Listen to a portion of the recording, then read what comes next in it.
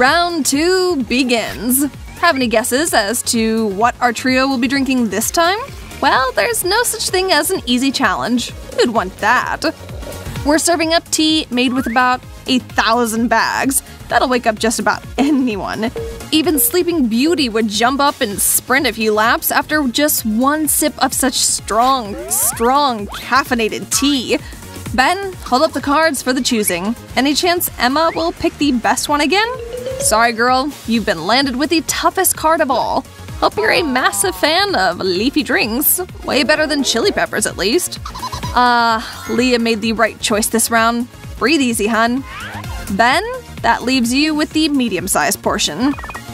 Go on, Leah, take a sip and let us know if it's awful or really awful. Hmm.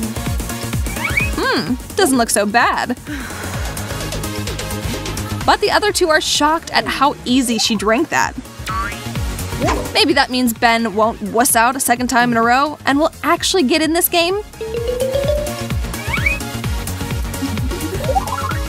Stop fussing already, man! Pull yourself together and drink that tea, or you'll never live this day down. Hmm.